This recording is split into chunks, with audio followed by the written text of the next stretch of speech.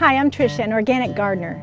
I grow organically for a healthy and safe food supply, for a clean and sustainable environment, for an enjoyable and rewarding experience.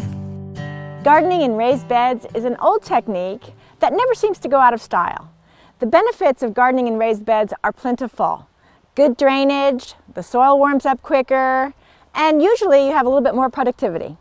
Raised beds can be as simple as a mound of dirt about three to four feet wide or as elaborate as my redwood raised beds. Framed beds should be at least six inches high.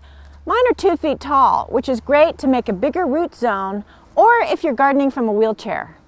For maximum sun exposure, lay out your garden beds for low growing crops in a north south direction. For trellised crops or vines, it's recommended that you do an east west direction. Position your beds away from the roots of big trees or shrubs and make sure you have full sun and enough room in between the beds for your wheelbarrow or garden cart. Your bed should be no more than four feet across. You want to be able to reach across and work in them comfortably and you don't want to step in them. Your beds can be as long as you like. 25 feet is ideal because most fertilizer application rates are by the 100 square feet. 4 feet by 25 feet, that's pretty easy math for me. For long beds like that, it's important to have support stakes every six feet or so. Once you've decided on your location, lay out your bed. Strings and stakes or field paint are great options. Now it's time to choose your materials. You can make raised beds out of recycled building materials such as cinder blocks, bricks, wood, and composite decking. A word of caution about lumber.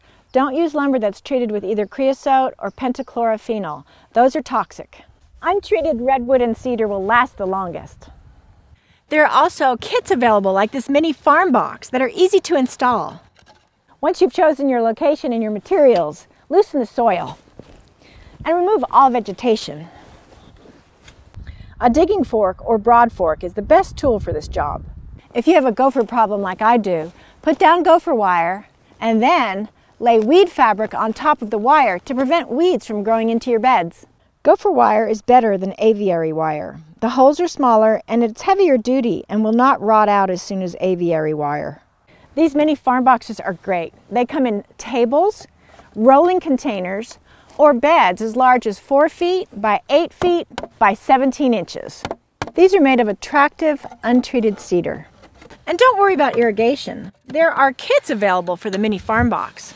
Another option, especially if you're using recycled wood, are these decorative garden M-Braces. Simply slide any 2 inch lumber into the brace and embrace your garden.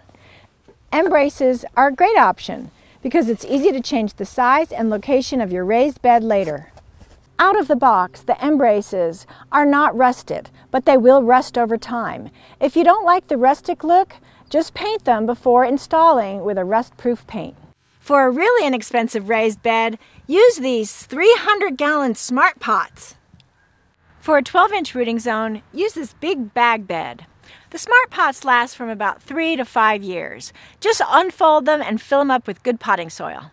Soil for raised beds can usually be purchased in bulk from a landscape supply company. If you don't have that resource, try a mix of one part compost or other organic matter, one part perlite, and two parts soil.